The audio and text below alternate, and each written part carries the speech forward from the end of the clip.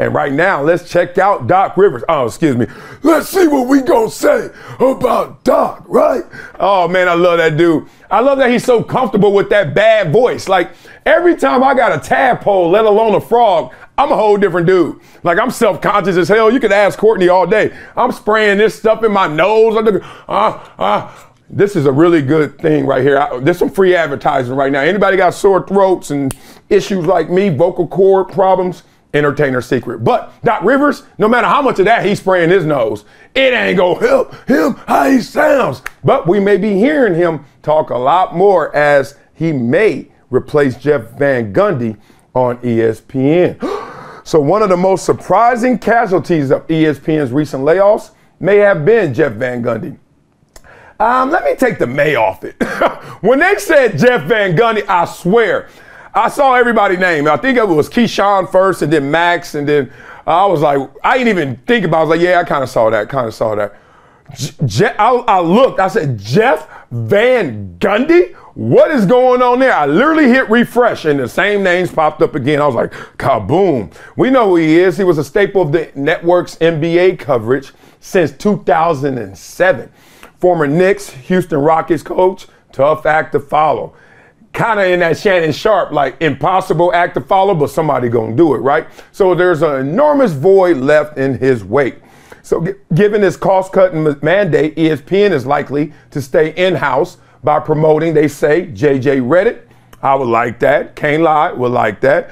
Or Doris Burke. Oh, Doris Burke be killing them games. She's so smart. Like, her voice just, first of all, it relaxes me. Like, every time she talks, well, you know, the way that, the, I was like, oh, yeah, say, and then she be dropping jewels. Love that as well. But can't lie, neither one of them I thought should replace Van Gundy. like literally, Van Gundy should still be there and then get them the B team or whatever. So if Disney were to hire from the outside, hmm, one potential candidate is going to be Doc Rivers. So Rivers was fired by the 76ers after blowing another 3-2 series lead to Boston in this year's playoffs. I think he got the NBA record for head coaches of losing series. He was up and all kind of bad records like that. But he's still Doc Rivers and still a championship head coach. Put some respect on his name.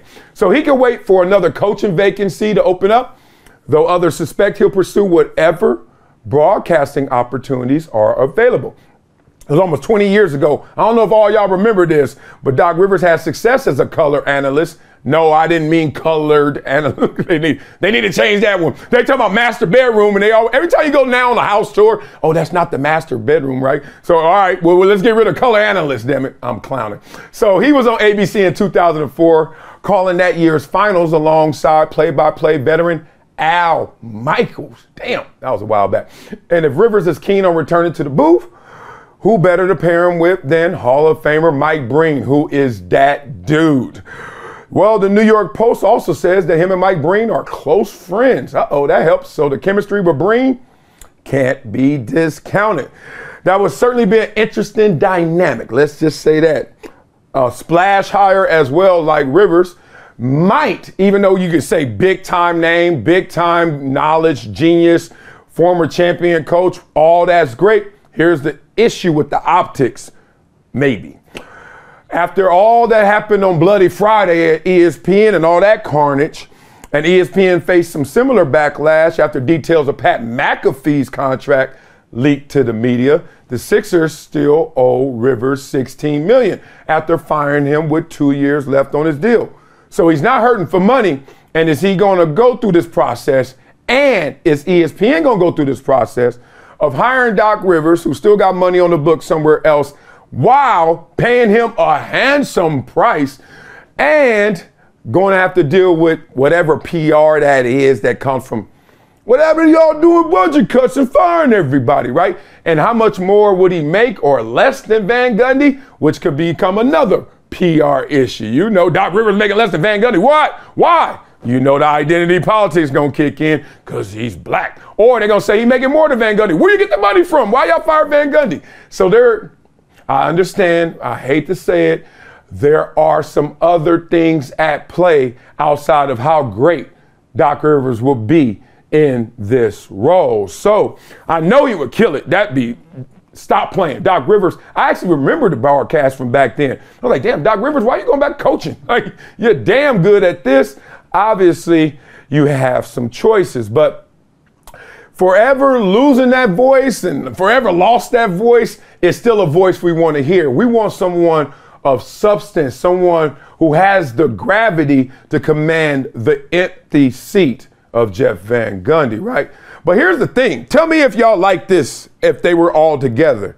Mike Breen, Mark Jackson, and Doc Rivers. For real. Like, be real. It's almost like when you're drawing up a team, you're like, all right, I'm to go get Mark Jackson. You know who you're not about to pick uh, on that team the next round? You're not to go get Doc Rivers. Like, they redundant. like, two guards that's to be talking about the game same way. I don't know if that even matters because I can hear them calling the game together. But in construction, what I'm trying to say is, are the execs going to push something through where it's like those two guys are kind of part of the same typecast, if I may say that, lack of better word. So, who do y'all think should replace Jeff Van Gundy? Let's start there. Do you think Doc Rivers is the best choice? And do you think he's going to kill it? Interesting. I don't want to really hear about it, but I know we're going to talk about it. Do y'all think this is hypocritical of ESPN to say, oh, poor us, for 99 cents a day, you can save your favorite analyst, and meanwhile, going to pay Doc Rivers all these millions of dollars, right? And others. So I don't know what Doc Rivers going to do. He got money on the book, 16 million sitting there if he just does this and chills, or you can grab a mic, sit next to the G's right there, and get some more of them M's. What would you do? Let's check that out in the comments.